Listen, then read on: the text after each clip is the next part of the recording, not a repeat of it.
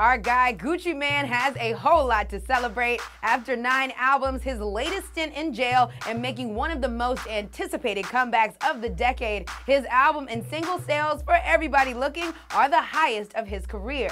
In case you missed it, his new album sold over 68,000 copies in its first week, landing him at number two on the Billboard 200 album sales chart, just under Drake, who is still holding it down at number one with views.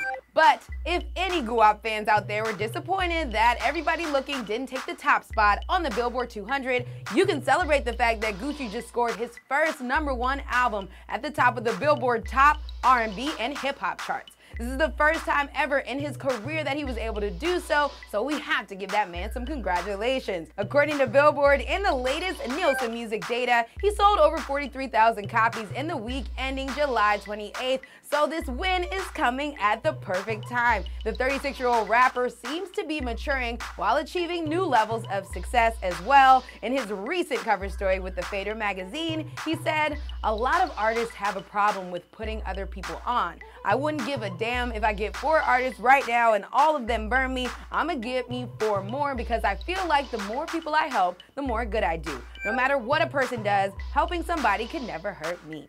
Amen. I see you, Pastor Gucci, out there with that word. Make sure you guys take notes and spread the success out there. And of course, send Gucci some love in the comments below or on Twitter using the hashtag BETBreaks. For more music news, head over to BET.com right now. I'm Gia Peppers, and I'll see you next time.